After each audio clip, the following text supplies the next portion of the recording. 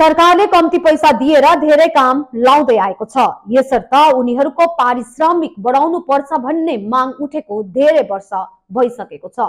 यसमा हामीले सहयोग गरिरहेका छौँ। यी कुरा रेलिङ कञ्जलेका सभासद सतीश पोखरेलले भनेका हुन् उनी बिजनबारीको सार्वजनिक भवनमा आयोजित हिलतराई आँगनबाडी कर्मी सहकर्मी संगठनको सभामा प्रमुख अतिथिको रूपमा बोलिरहेका थिए। पोखरेलले यस संगठनलाई भागो प्रमुले न्याय दिलाउन कार्य गरिरहेको बताएका छन्। संगठनकी अध्यक्ष पुष्पा लामा वाइवाले विगत दुई हजार अठारदेखि सरकारले आँगनबाडी कर्मीहरूको पैसा नबढाएको बताउँदै त्यसको प्रतिवाद जनाए।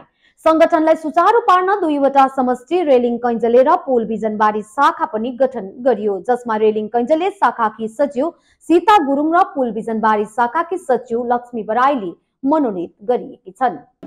विशेष म पुष्पा लामा हगे आज दार्जिलिङ पूर्वबजार प्रोजेक्ट कमिटीको तत्त्वावधानमा अ, बिजनबारी खेल मैदानको छेउ सार्वजनिक भवनमा एक साङ्गठनिक सभा सम्पन्न भयो। र सभामा विशेष साङ्गठनिक सभा सँगसँगै एउटा प्रतिरोध सभा पनि आयोजन गरेको थियो। र विशेष गरेर जुन चाहिँ अन्तरिम बजेट पेस भएको थियो भारत सरकारको सदनमा र त्यस अन्तरिम बजेटमा हामीले धेरै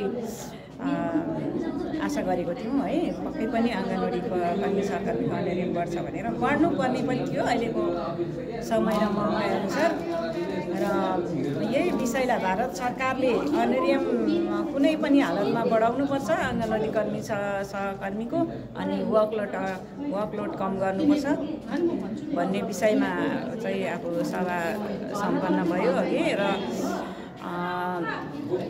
सङ्गठनले समष्टि कमिटी दुईवटा सम समष्टिको समष्टि कमिटी पनि गठन गर्यो है। अ, रेलिङ कैजले समष्टि अनि पुल बिजनबारी बुक समष्टि कमिटी पनि गठन गर्यो। विशेष गरेर काम गर्नु सजिलो होस् भन्ने हेतुले चाहिँ यो समष्टि कमिटी गठन गर्यो। र धेरै धेरै शुभकामना छ। दार्जिलिङ बजार प्रोजेक्ट अनि प्रोजेक्ट साथै दुवैवटा समष्टि कमिटीलाई हाम्रो केन्द्रीय समिति हिलतराई आधारित गर्ने सहकर्मी सङ्गठनको तर्फबाट थ्याङ्क यू